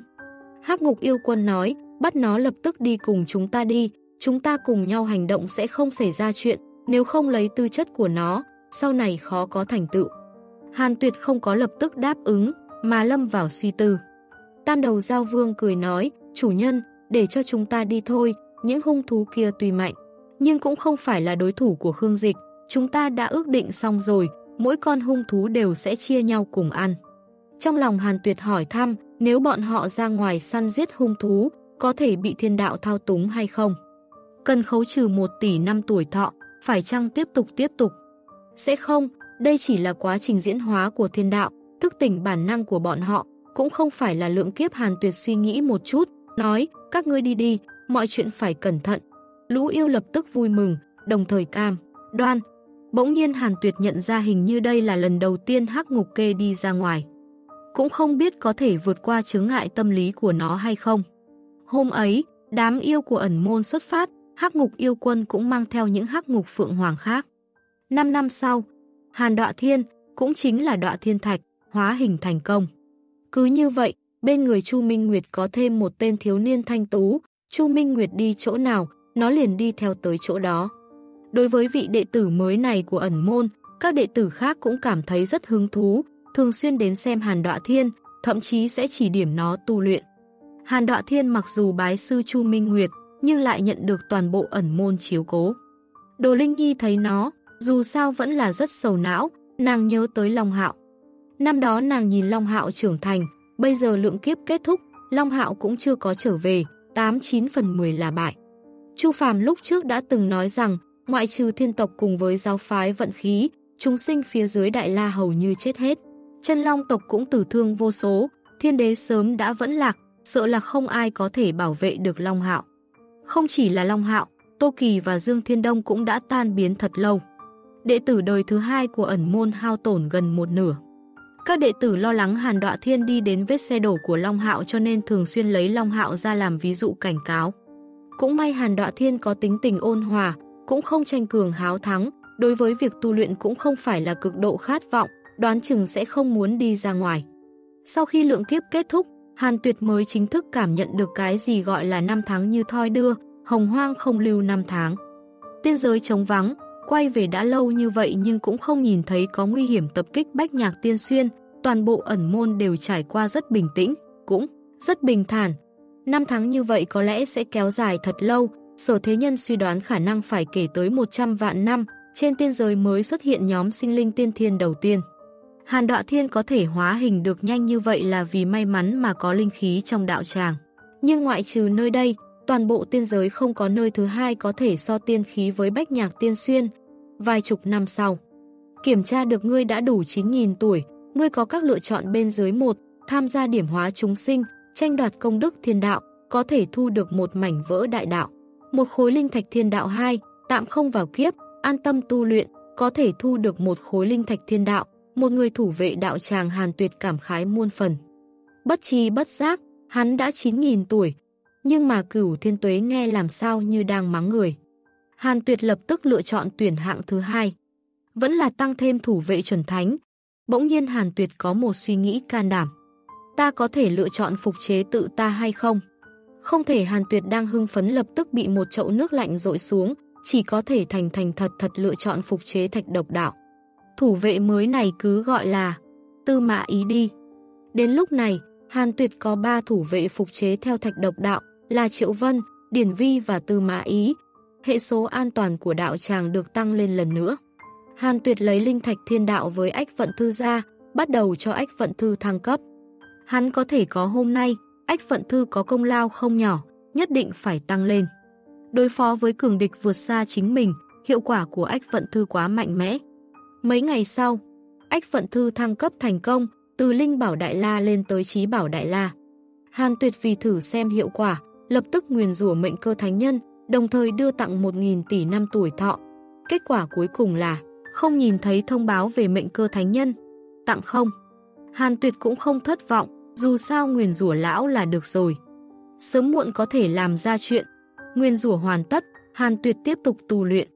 Bên ngoài tam thập tam tầng thiên, trong một tòa đại điện, mệnh cơ thánh nhân mở to mắt, trao mày.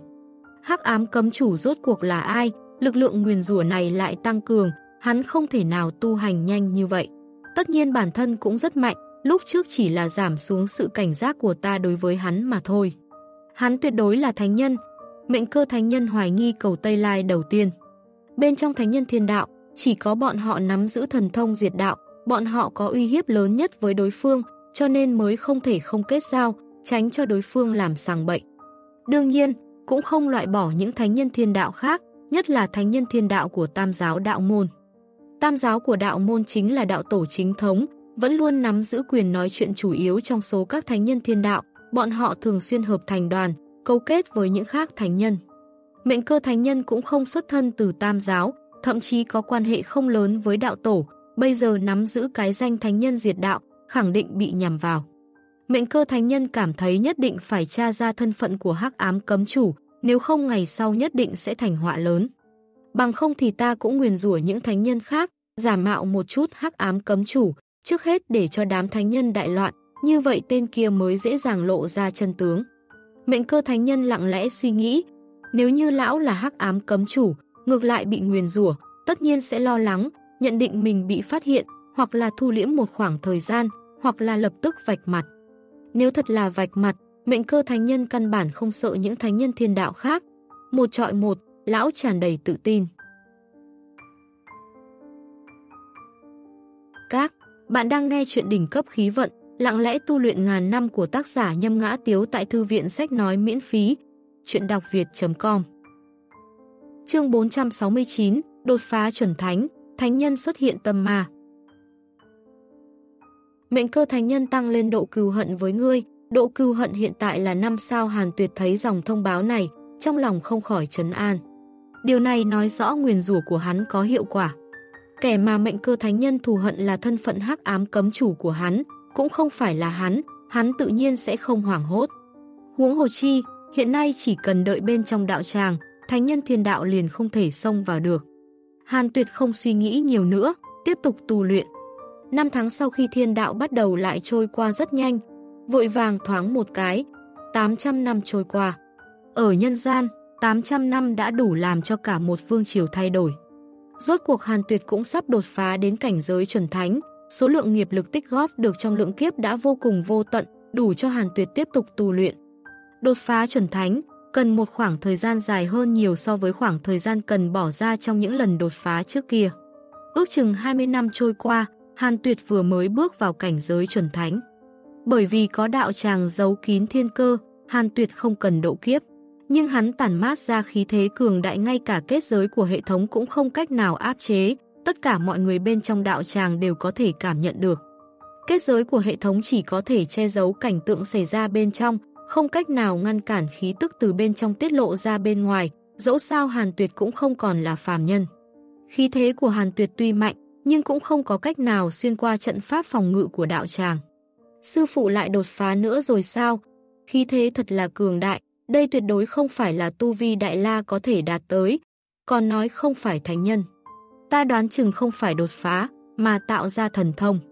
Quả thật, những thần thông mà môn chủ tạo ra đều vô cùng tinh diệu, mới nghe lần đầu, chứng tỏ ngoài lúc hắn đang tu luyện còn một mực tìm hiểu thần thông.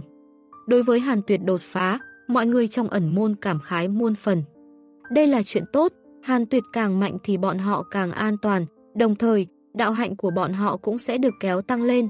Trong đạo quán, Hàn Tuyệt vừa củng cố tu vi, vừa tra xét danh sách thuộc tính, họ tên, Hàn Tuyệt tuổi thọ, 9.820 trên 1.290 tỷ tỷ năm chủng tộc, Hồng Mông Ma Thần, Vô Lượng Đại Đế. Tu Vi, chuẩn hỗn nguyên đại La Kim Tiên Cảnh Sơ Kỳ Công Pháp, Hồng Mông Luân Hồi Đại Đạo. Chu Thiên Thối Thể Pháp Đại Đạo, Sinh Tử Đại Đạo, Nhân Quả Đại Đạo, Cực Nguyên Đại Đạo chuẩn hỗn nguyên đại La Kim Tiên. Hỗn nguyên đại La Kim Tiên phải là cảnh giới thánh nhân, thật là khó đọc. Hàn Tuyệt chú ý tới tuổi thọ của mình tăng lên gấp 10 lần. 1.200 tỷ tỷ năm, ta mặc kệ lão là ai. Sau khi củng cố tu vi các loại xong, Hàn Tuyệt phải hảo hảo nguyên rủa mệnh cơ thánh nhân một chút. Đáng nhắc tới chính là, sau khi đột phá cảnh giới chuẩn thánh, Hàn Tuyệt lại chưa được hệ thống nhắc nhở. Chẳng lẽ hệ thống không thừa nhận cảnh giới này hay sao? Hàn Tuyệt thoáng có chút tiếc nuối, tiếp đó chuyên tâm tu luyện. Hắn dùng 10 năm thời gian, vừa mới củng cố tu vi xong, sau đó lấy ra ách vận thư, bắt đầu nguyền rủa mệnh cơ thánh nhân.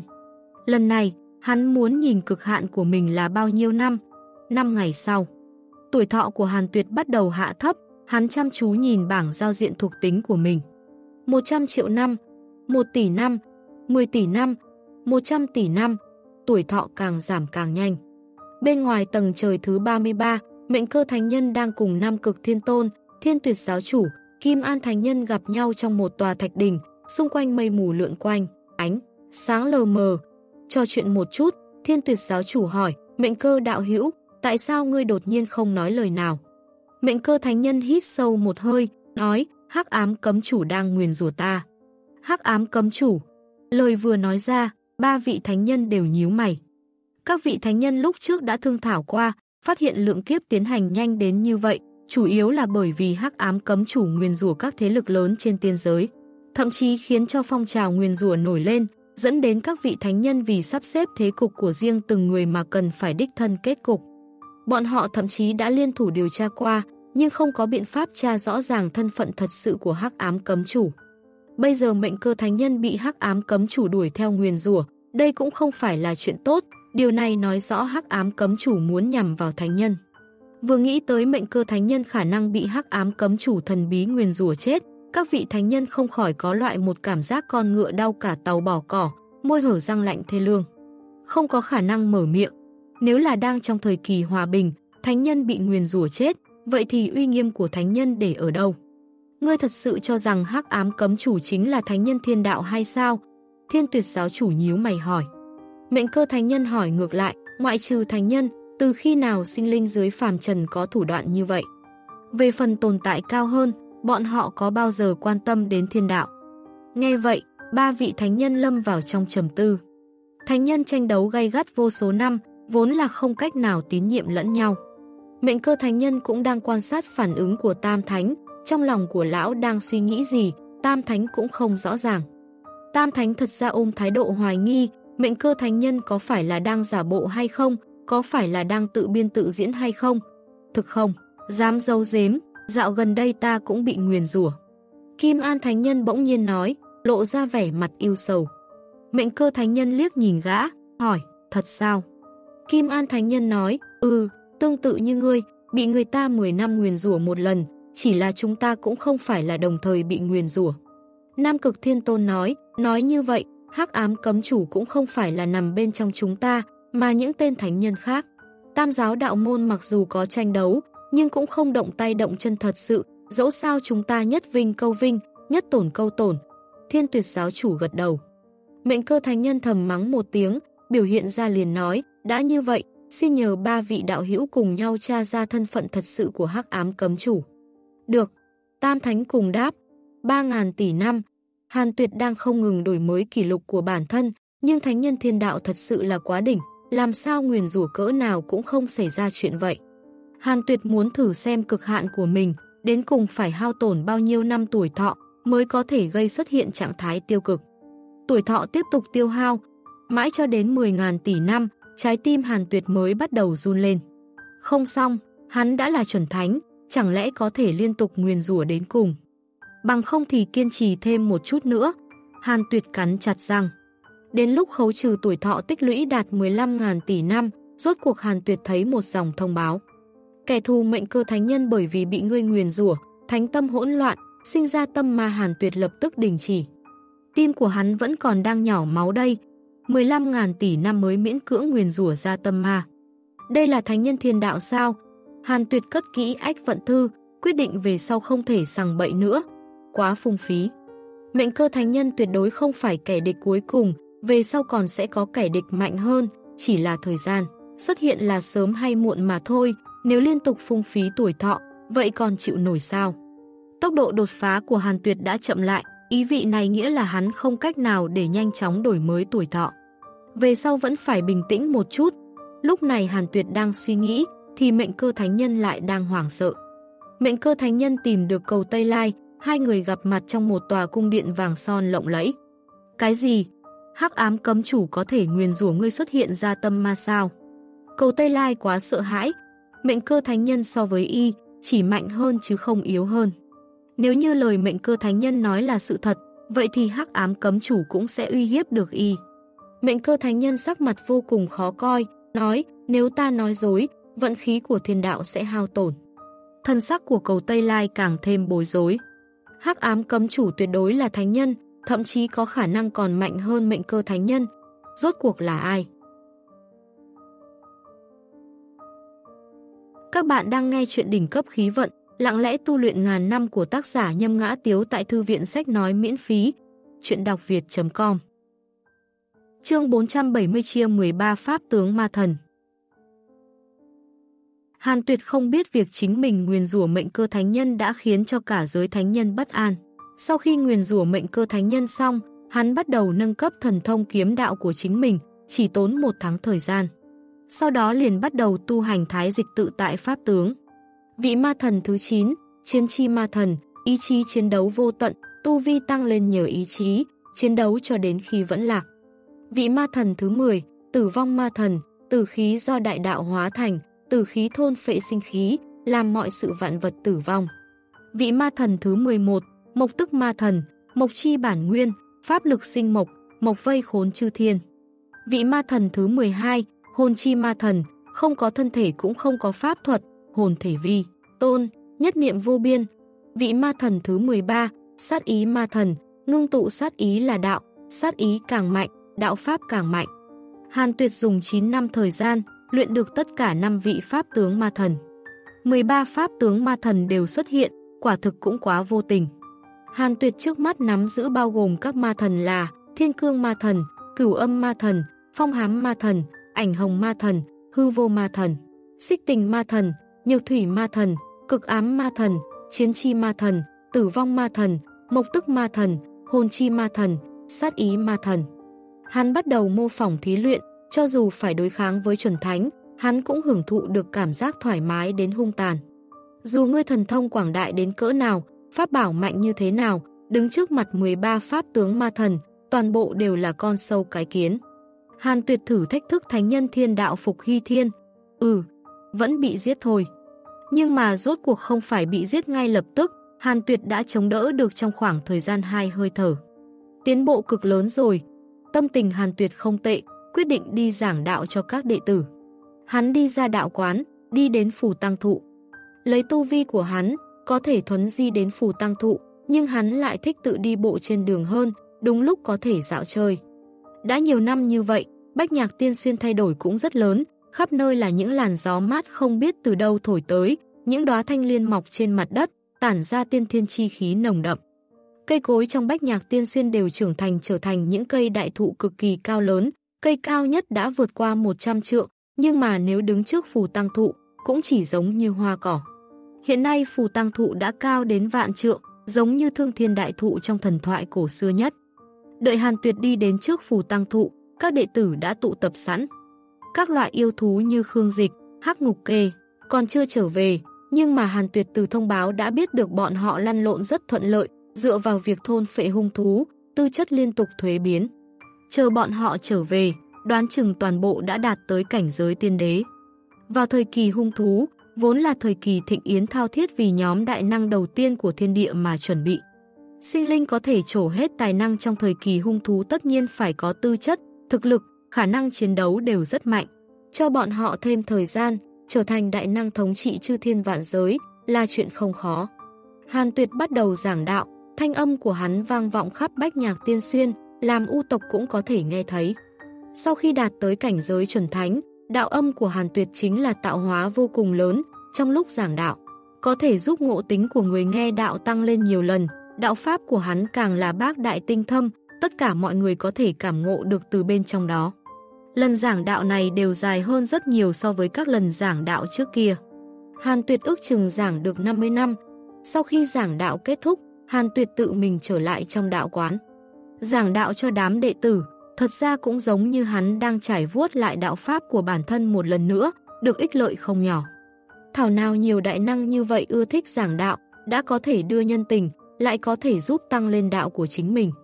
Hàn tuyệt nở nụ cười, tiếp đó nhắm mắt tu luyện. Trong một mảnh núi hoang rừng vắng, một con trùng dài có thân hình to lớn như một dãy núi đang đi về phía trước, thân của nó giống như ngô công. Trăm cái chân lại giống như bàn chân của sư tử, lúc đi về phía trước lúc lại dẫm đạp mặt đất trở thành một con đường lớn. Nó hình như đang tìm kiếm con mồi, đi một chút lại ngừng một chút. Đúng lúc này, mặt đất đột nhiên nứt ra, một cái miệng lớn dính máu chui từ dưới đất lên, một lần liền cắn đứt. Con trùng dài này, máu rơi vãi đầy ra mặt đất.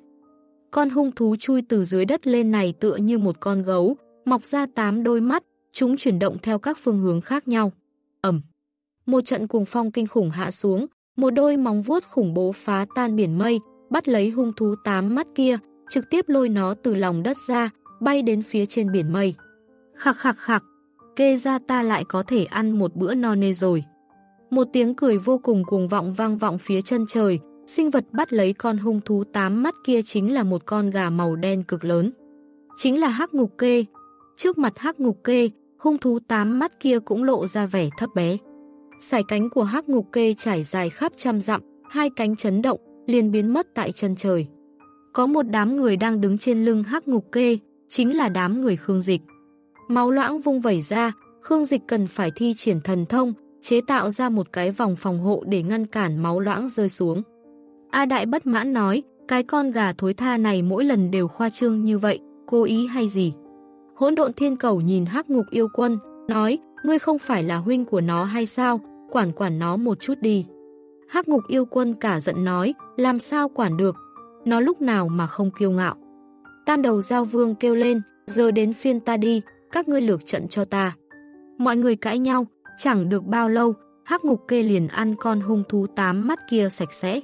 Ồ, các ngươi, những con hung thú này thậm chí có linh trí hết sao? Một giọng nói bỗng nhiên vang vọng thiên địa, Khương Dịch sắc mặt biến hóa. Vậy mà khiến y không thể cảm giác được đối phương đang ở nơi nào. Đại năng, Khương Dịch cất cao giọng nói, tiền bối, chúng ta không phải hung thú. Đổi lại trước kia, Khương Dịch khẳng định chửi ầm lên, nhưng hiện tại thần tộc Kim Ô dường như bị diệt sạch, đại năng còn sống đến bây giờ đều tồn tại mà y không thể đụng. Tới, y cần phải chú ý cẩn thận. Còn có Kim Ô sao, tư chất không tệ, tất cả bọn ngươi đều vào dưới trướng của bổn tọa đi. Đại năng thần bí kia cười nói, cùng lúc này bầu trời bỗng nhiên biến thành một màu đen, gió mạnh kinh khủng xuất hiện, cuốn tất cả bọn họ lên trời. Đám người Khương Dịch ngẩng đầu nhìn lên, bầu trời xuất hiện một cái ống tay áo thật lớn, che khuất cả bầu trời, khó có thể đánh giá được đường kính của nó. Bọn họ muốn chạy trốn, lại bị một cỗ pháp lực cường đại chấn áp, không cách nào nhúc nhích. Rất nhanh, bọn họ liền bị cuốn vào trong ống tay áo. Bách nhạc tiên xuyên, từ lúc giảng đạo kết thúc đã qua 8 năm. Không ít đệ tử vẫn còn trong trạng thái ngộ đạo, cũng không tỉnh ngộ. Hàn Tuyệt đang tu luyện, bỗng nhiên cảm ứng được có người thi triển thỉnh thần thuật. Hắn bấm ngón tay tính toán, vậy mà là hắc ngục kê. Đã nhiều năm như vậy, hắc ngục kê lần đầu tiên thi triển thỉnh thần thuật, chẳng lẽ đã xảy ra chuyện. Mặc dù đã vô địch thiên hạ, Hàn Tuyệt vẫn là cảnh giác diễn hóa trước, ta đi qua đó, sẽ có nguy hiểm hay không? Cần khấu trừ 1 tỷ năm tuổi thọ, có muốn tiếp tục hay không? Tiếp tục. Tạm thời không có Hàn Tuyệt thở dài một hơi, lập tức thúc dục toàn thân pháp bảo, âm dương hộ sinh nhật nguyệt bắn ra thần quang, bao phủ thân hình của hắn. Hắn cũng đứng dậy, bước vào trong vòng xoáy màu đen, ở phía bên kia. Đám người khương dịch, hắc ngục kê, hắc ngục yêu quân bị nhốt trên một mảnh trên đất trống, mặt đất như ngọc, biên giới đất trống chỉ toàn là bóng tối, không cách nào thấy cửa thoát ra. ngẩng đầu nhìn lại, có thể thấy một cái cửa, chỉ là đan sen lôi điện. Hắc ngục kê căng thẳng nhìn lên vòng xoáy màu đen trước mặt. Chủ nhân không phải sẽ không đến đi. Hắc ngục kê thì thảo tự nói. Đám người khương dịch cũng đang lo lắng. Lúc này, một trận ánh sáng chói lóa từ trong vòng xoáy màu đen tràn ra, Hàn Tuyệt bước ra. Mọi người, vui mừng, nhao nhao quỳ bái Hàn Tuyệt. Hàn Tuyệt lập tức kiểm tra cường địch xung quanh. Đạp Thiên Ca, Đại La Kim Tiên Cảnh Viên Mãn, tiên nhân của xiển giáo.